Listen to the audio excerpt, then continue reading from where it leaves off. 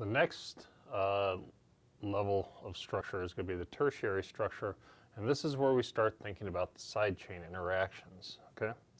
And so first the, you can think of looking at uh, the protein structure as uh, looking at what's the dominant secondary structure first, right?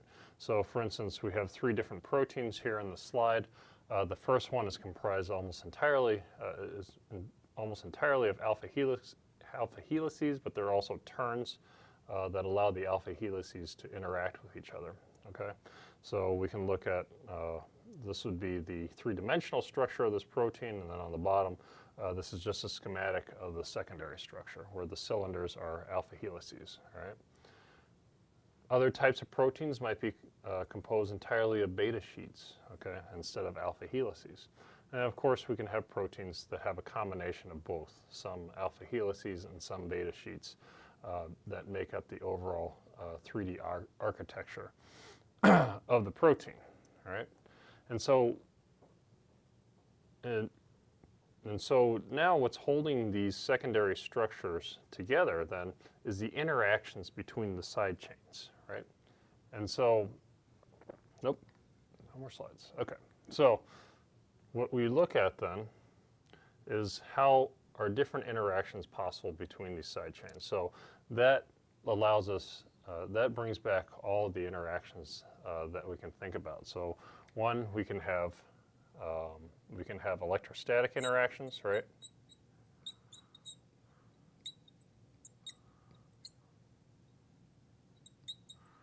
And so that will be, for instance, uh, an interaction between a positively charged group, such as um, an arginine.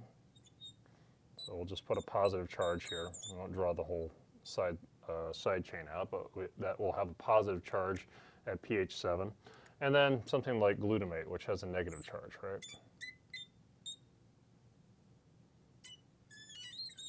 Right, so that can form an electrostatic interaction. And we call this a salt bridge, okay?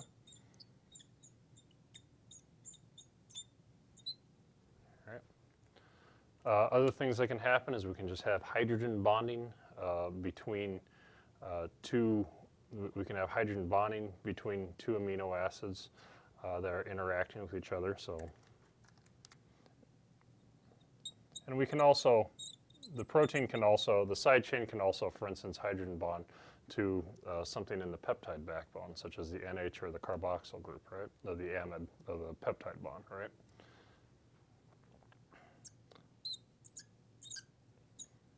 As we get closer and closer packed to each other, uh, things are going to have, uh, or things that are weaker forces usually are going to be able to have stronger interactions cumulatively because there will be so many of them. So remember van der Waals forces, okay, will play a role in stabilizing the protein.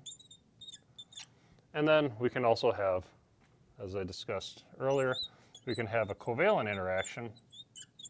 And so the one we typically think about that are called disulfide bonds.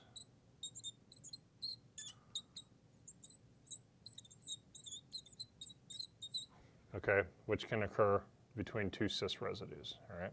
So Cys has an SH side chain, and it can form a double, it can form a bond with another cysteine residue through the sulfur, and so that's called a disulfide bond, all right? But what largely drives, so what's really uh, remember in the last video where I talked about there can be, uh, the secondary structures can be amphiphilic, right? There can be a hydrophobic side and a hydrophilic side, okay? What really drives the, um, the folding of, and the interaction between the secondary structure is largely the hydrophobic effect, okay? So these are all, so what I've described over here all right, are largely enthalpic contributions.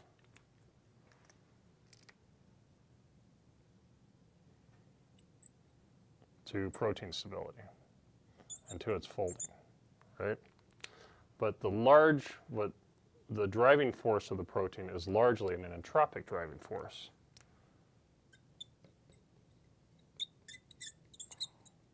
and that's the hydrophobic effect. Okay. Now remember the hydrophobic effect